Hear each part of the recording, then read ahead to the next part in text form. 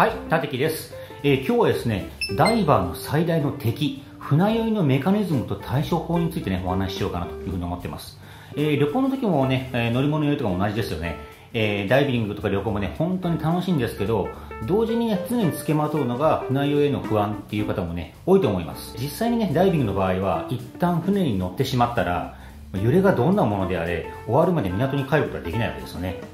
で、船酔いになったから途中で降ろしてくださいっていうわけにもならないと。ですんで、今回は船酔いのことをよく知ってね、え、その対処法をね、え、解説していこうかなと思っております。今回お話しするのはですね、船酔いとはどういうメカニズムになっているのかっていうのをね、簡単に復習するということと、あとね、船酔いになってしまった時の対処方法ですね。これはもう予防も同じです。そして動画の後半にはですね、え、乗り物酔いに効果的と言われているツボであったりとか、あとは、えー、平行感覚を鍛える方法みたいなのもね、ありますので、えー、ぜひね、よろしければ最後まで見ていただければ嬉しいかなというふうに思います。この僕のチャンネルではですね、ダイビングや海の話題を中心に皆さんに何かお役に立つような情報をね、発信していきたいなと思っておりますので、もしよかったらですね、チャンネル登録の方よろしくお願いします。船酔いに関してなんですが、まあね、ダイビングなんか特にクルーズなんかありますんで、えー、まあ3泊4日のクルーズとか乗っちゃったりとかした時にですね、まあ、船酔いとかになったらすごくもうあのせっかくのね、楽しい、えー、ダイビング旅行がね、結構辛い思いになってしまうということもあるると思います。じゃあその船酔いを起こしてしまうじゃあそのメカニズムってどういうものなのっていうようなお話なんですけどもこれはねもう単純に、まあ、皆さんご存知の方も多いかもしれませんが、まあ、目と耳とのこの、えー、関係性で引き起こされるということになってますね。まずはあの周りの状況を見てですね目からいろんな情報がど脳の方に送られています。いわゆるどういうふうな動きになっているのかっていうのを見ながら理解するわけですね。そして、えー、耳からもね同時に脳の方に情報が送られるわけです。どういう情報かというと音とかではなくていわゆるこの揺れとかいうようなね、え平行感覚のことにも情報が送られてるんですけども、耳の中にはね、ご存知の通り三半規管っていうのがありまして、三半規管と耳石、自小骨ともいうんですがね、耳石っていうのが、え人間の平行感覚を伝える器官になってまして、で、え三半規管っていうのがいわゆる回転方向の、え動きを脳に伝えていて、耳石っていうのは直線方向。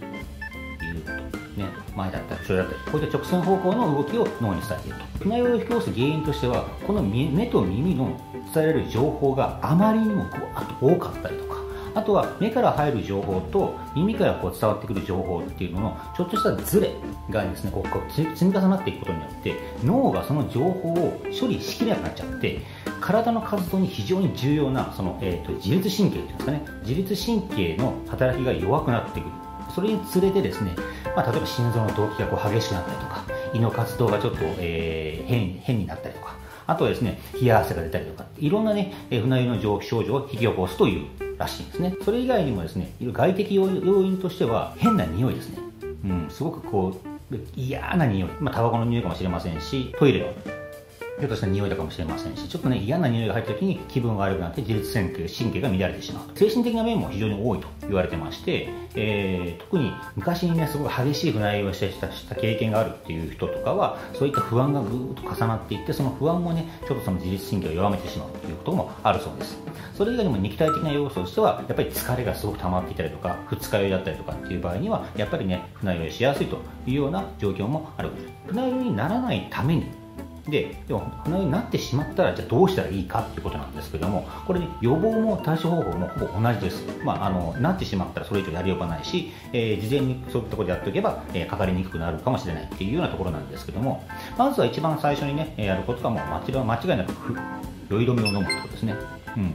これはもう特に精神的にもすごく効果があると思います。あとそれ以外にもね、あのー、揺れてる船の上でやっぱりやっぱりなるべく遠くを見る、遠くを見るっていうのが結構いいと思います、えー、目から入ってくる情報をねこうなるべく少なくするっていうかなんかこう視野の中に広い海の水平線だけで、えー、見ておくことによって変な情報がたくさん入ってこないっていうところがありますのでそういったところをねえ防ぐというところ、えそれ以外にも、えー、換気のいいところに座るであったりとかうん、あのタバコの煙とか入ってこない、まあえー、変な匂いがしないところに座るであったりとかあとは、えー、ボートの後ろ側に座るってもいいですよね、えー、ボートって後ろ側が結構揺れにくいというか、え船がこうあって船がこうあってエンジンがこうあったら、まあ、こっちに進む前がちょっと浮きますので前が揺れやすくなりますので後ろの方が揺れにくいと。いうこともあります。あの、締め付けのきつい服とか、まあ、ウェットスーツとかですね、っていうのは、えー、ボートにいるときはなるべくちょっと脱いでおいたりと、脱いでおいたりとか、まあ、寒い時とかね、あのドライスーツ脱ぐの嫌だっていう方もいいかもしれませんが、ちょっとね、できればちょっと上だけ脱いで、他のものを羽織るという方が、えー、船酔いを防ぐには、えー、いいと思います。先ほど言いましたけども、ダイビングボートっていっぺん乗ってしまったらもう帰ってくるまで降りれないわけですからね、えー、なのでボートの上でもそういったね、えー、船酔いにならないような、え、予防であったりとか対処法をやっていくことがいいと思います。さらにですねここからは、えー、薬を飲むだけじゃなくて船酔いを予防する方法として、えー、ツボを押すっていうのがあるそうなんですね。一つ目はですね内観というツボなんですね。まず手じゃなくて手の手首のシワこのシワの部分から指3本分ぐらい指3本分ぐらいのところにあるこのツボですね。ここをぎゅーっと78秒何回かぐっと押すといいということなんですね。ここは平行感覚を正常にする働きがあるみたいなところもあってあとはね胃の不快感を和らげたりとか乗り物用にも効くと言われます。あとねこれ二日酔いにも効くそうなんですよ。結構いいツボですね。そして2つ目はですね外観というツボです。外観はもういわゆる内観の反対側です。今度は手の甲の方ですね。手の甲の方。この手の甲の方のシワのシワから指3本分ですね。ここをこのツボをぐっと押さえると。これはですね自律神経を整えたりとか頭痛に効果があるというそうなんですね。うん。気持ちいいですよ。そして3つ目は蓄品っていうポイント、えー、ツボでして足の内側の、えー、くるぶしから指5本分ぐらい上に行ったところのツボをギュッと押すということなんですね。ここはですねストレートに、えー、乗り物用に、ねえー、なったら押したらいいと言われるようなツボだそうです。気分悪くなった時にここを押すとこ楽になるよというツボです。そして4つ目は胸径っていうツボですね、えー、足の小指と薬指の間のへこのところです。これはですね、えー、っとめまいとか耳鳴りとかあとですね、えー、頭痛に効くそうで乗り物の時にはすぐに効果があるというふうに言われているそうです。ここは結構いいかもしれませんね。5つ目は A 風というツボです。耳たぶの裏の出っ張っている骨との間のくぼみの部分ですね。ここはですね内耳の平行感覚に関する、えー、ツボらしくて乗り物用に効果があると言われているそうなんですね。ここ気持ちいいですねぐーっと押すと、うん。えー、この5つのツボをね押してね、えー、船酔いの予防とか対処してみるのもいいかもしれません。ちなみにここのねえ情報は某、えー、製薬会社の船酔いの薬のホームページの方からね参考にさせていただきましたんで概要欄に貼っておきますので気になった方はねチェックしてみてください。そしてですねもう一つ、え最後にですね船酔い